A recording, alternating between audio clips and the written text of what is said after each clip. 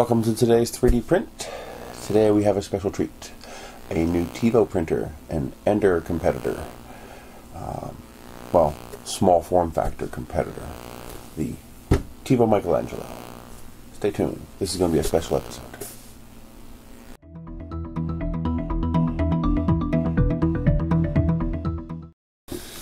So, thanks to GearBest and Tevo, this is the Tevo Michelangelo.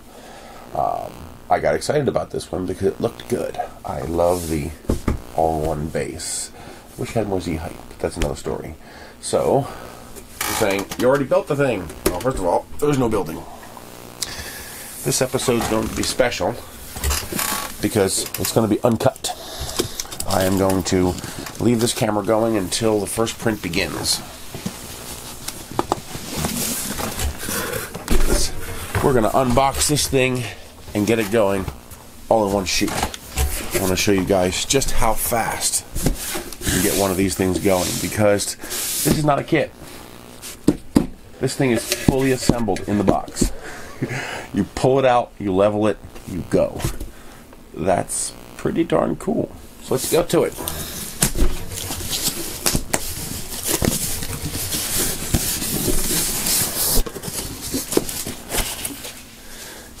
Foam packing, instruction manual. I love the fact that they include an instruction manual.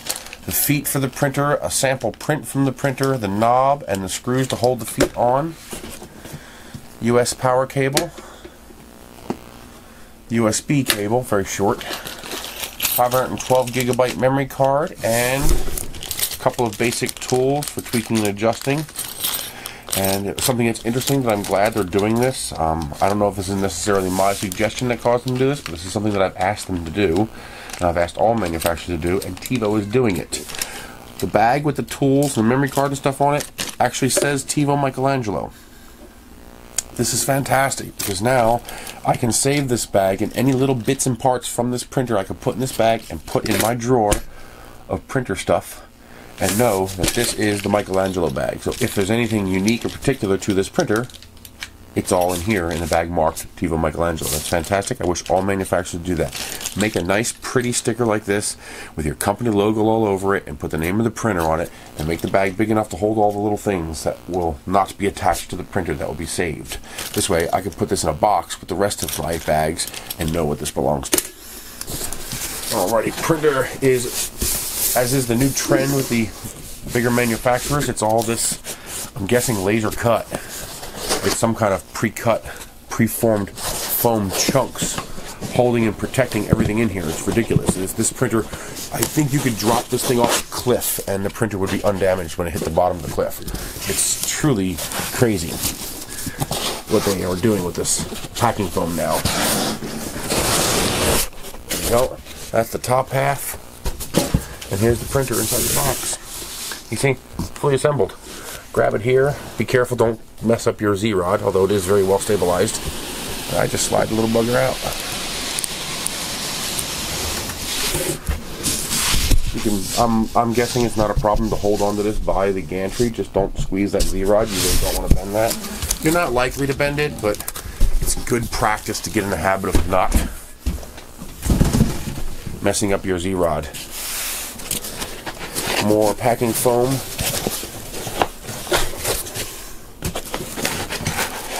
Everything is stabilized. There's even a piece of foam in here underneath the head of the printer so it can't bounce around. So everything is completely encapsulated. Like it's not just packed in foam, it's like vac pack packed in foam. I mean, it, everything is supported. This is um, what I've been telling people for a long time. The the problem with a lot of QC issues of these printers is probably in shipping. And it looks like they're fixing that by hermetically sealing everything up inside of foam, which is not a bad idea. I'm very happy about it. There we go. Nothing else is in here. This comes off the back. This printer has a lot of very interesting new things that they're doing that I'm really excited about because I'm hoping we can use these things on our existing printers. So I need somebody to tell me if these things are electrically identical. So, take a look at this. I don't know how well you're going to be able to see this, but that little thing right there is your end stop. They're infinitely adjustable.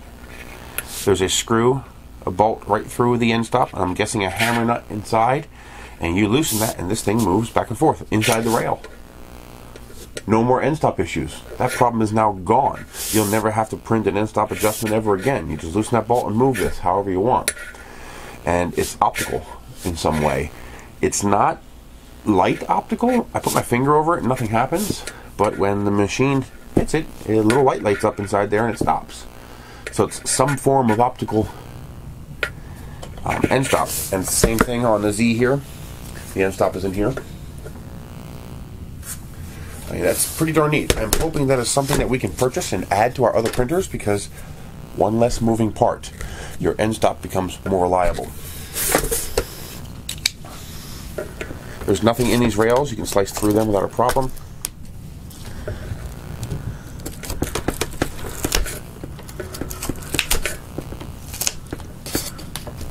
Obviously, don't slice your finger. They even put a piece of foam underneath the plastic on top to protect the hardware there. They, they really went out of their way to package this properly, and I have to commend that.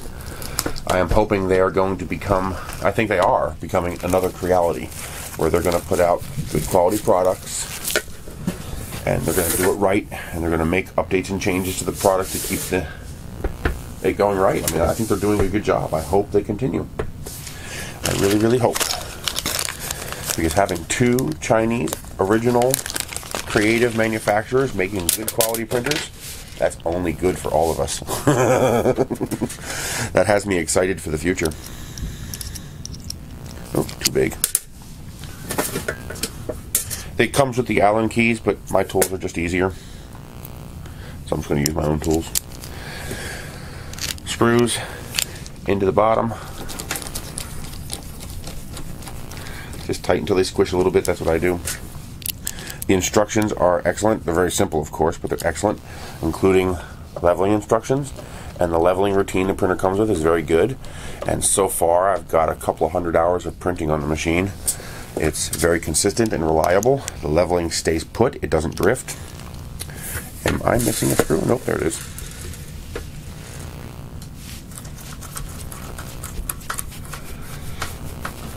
I'm guessing these are the tower. The gantry. That looks like it's in the right spot for the gantry. I'm wondering what that's about. Maybe this isn't strong enough by itself. I don't know. I will take one of these apart and find out.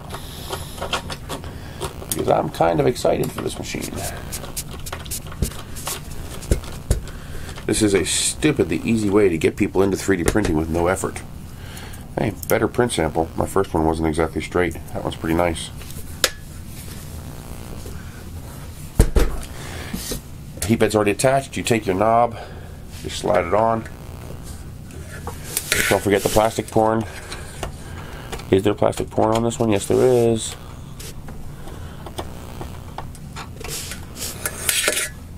This one doesn't want to come off.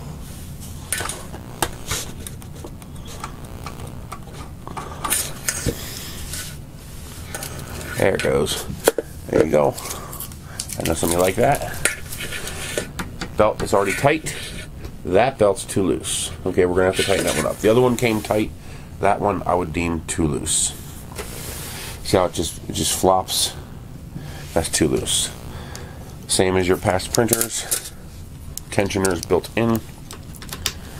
Loosen this one, loosen this one, tighten it up.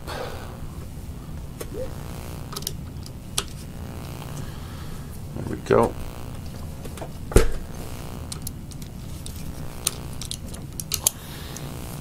That does not seem tight enough.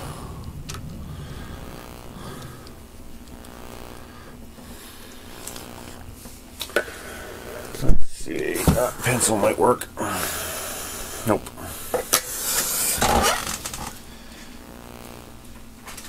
This will work, I think. Yeah. Take a wrench, pop it in there on the bolt there. You tighten that up like that.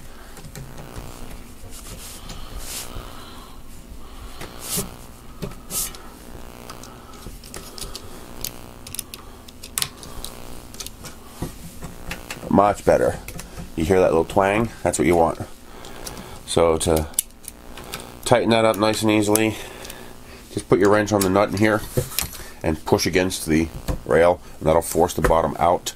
It's self-leveling so it doesn't twist up or down on you. Tighten it up, you're done. That's it. My other one I didn't even have to do that. It was tensioned plenty enough out of the box.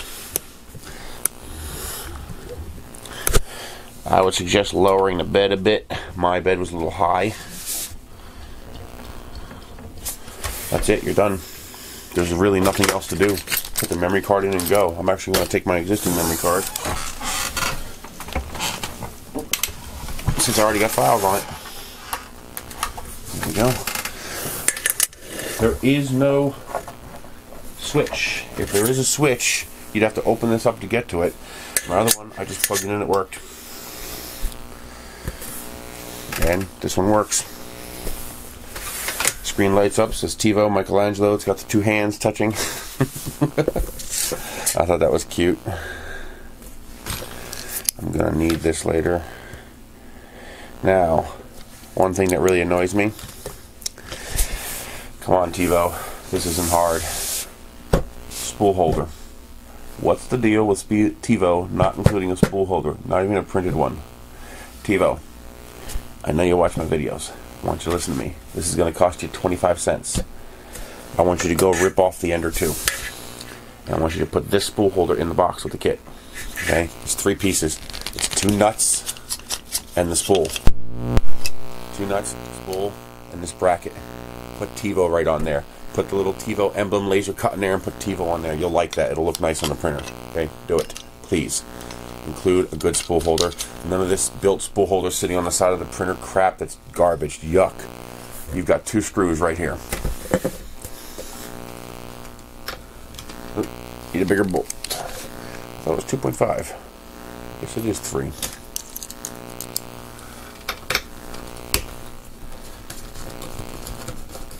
You can bolts. You don't have to add anything. You can order these from Creality if you want, or HICTOP.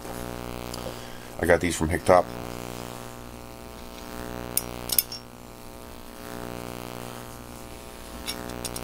There's enough bite left for these to fit in here.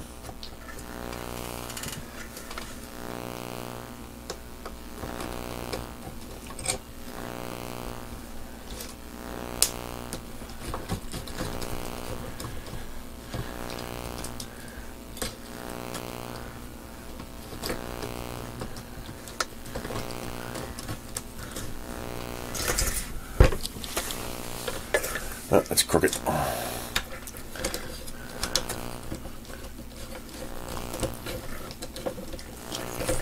Oh, I guess I gotta take this bolt off. Ah, I thought I can get away with it.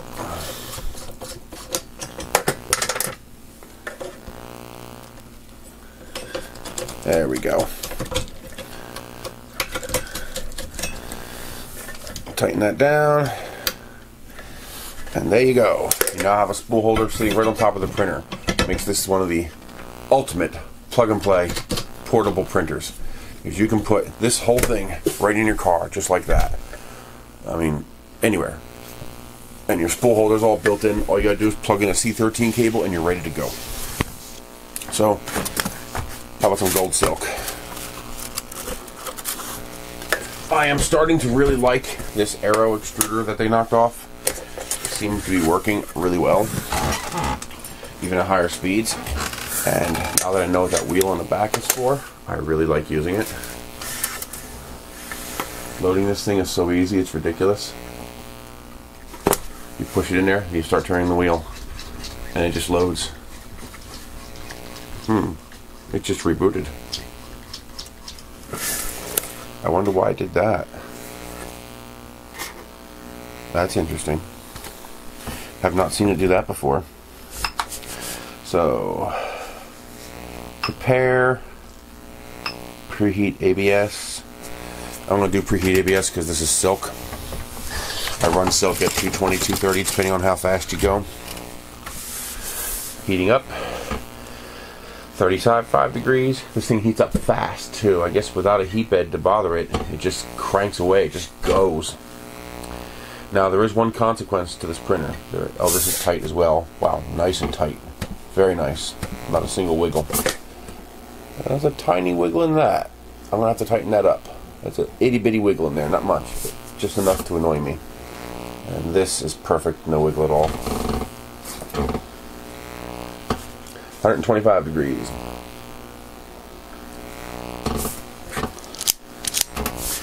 How far in are we? We are 12 minutes in and the printer is ready to go. And that's me dilly-dallying, adding a spool holder, talking to you. 12 minutes. I bet you. I, I, bet you if I didn't talk to you, I bet you if I just sat here and did just this, I can have this printer printing in under 15 minutes, including bed level, because that's all you really got to do. 200 degrees. Looks like they liked my dual fan design that I designed for the Ender. You got the the two fans, the two pancake fans on the side with the blowers, and they also got the 30 millimeter fan. Same thing I made for the Ender. That works very well. I also like the fact that they're using real fan grills, like wire fan grills, so they're not going to interfere with the fans. You have a fan down here and a big open grill over here. It sucks air straight through the printer and out. What I'm thinking about doing is putting a second hole here and putting dual ultra quiet fans in here. This way I'll have the same airflow, but it'll be silent. This thing is actually pretty darn quiet. We are at 240 degrees. That was quick.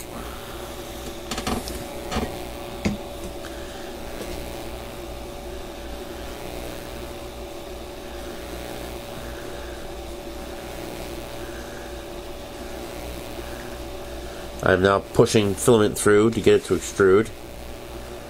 Why isn't it extruding? Here it comes. I guess I wasn't as far in as I thought. There it is. The goo has appeared. Now I'm going to turn down the temperature.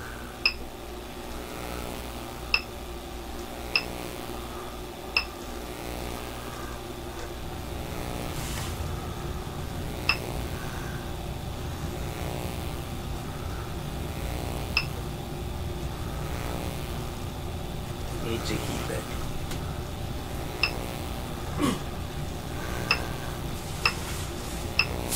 There we go. Okay, now bed leveling. I actually like the way it does it. You go to bed leveling, you go to home me first.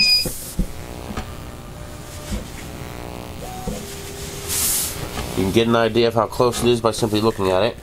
And we are way low. Okay, so I gotta really crank down these screws. So I'm going to disable the steppers.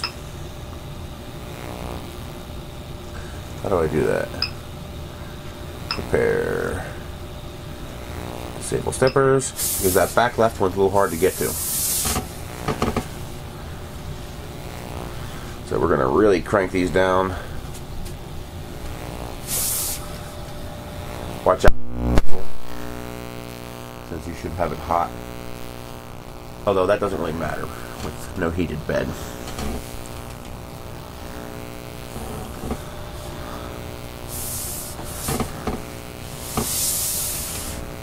That should do it. Bed leveling. Home me first. Then select front left.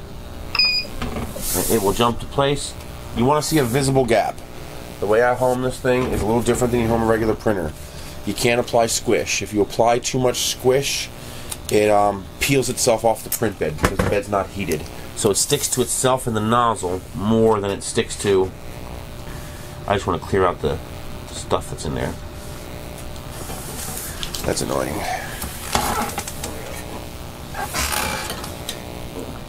There it is. Use something to clear the um, ooze coming out of the nozzle, you want to see a physical gap.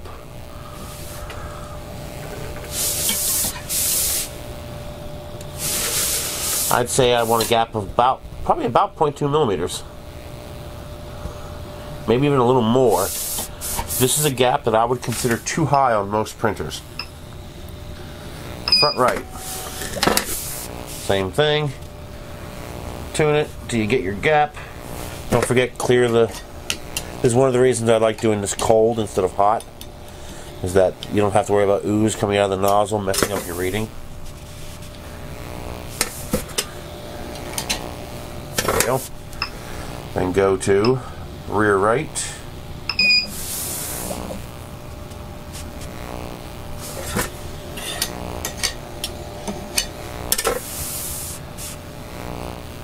That looks about right. Rear left. Uh, that looks pretty close actually. I think I'll leave that. Okay. Check the front right again.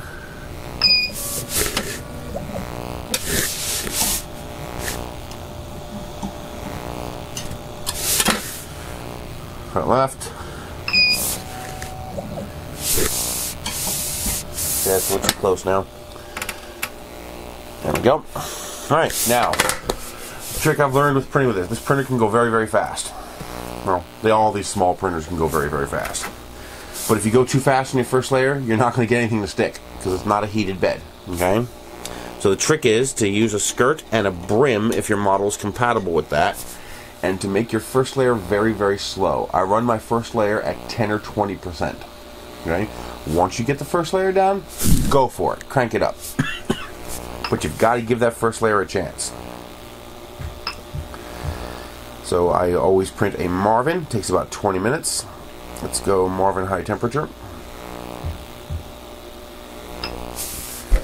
So to print at 230. I turned it down to 220 so it's heating back up to 230.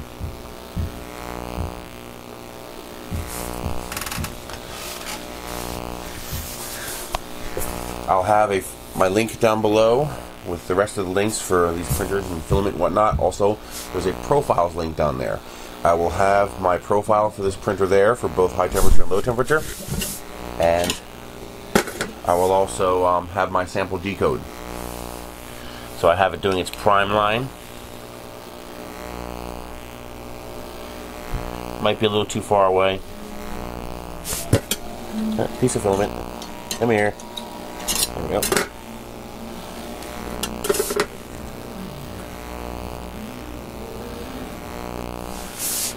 A little too far away. There we go. That first round, tear it off. Too much squish. There we go. Same as I always do, you do your live adjust. You can see how slow it's going. You want it nice and slow. And you want it hot. Go 20 degrees above what you would normally print your PLA. If you print your PLA at 200, make your first layer 220. You want it to go down super hot and sticky and super viscous. See? Sticking fine. Now watch what this does when it's um it's done that first layer. It'll really crank up. This. Oh no, this isn't recording, is it? I'm getting errors again. Ah.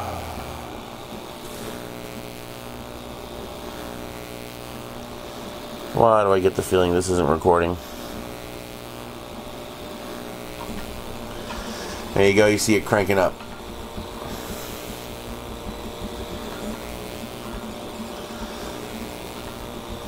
When it says camera operation in progress, that's an indication to me that there's interference going on. I hope not.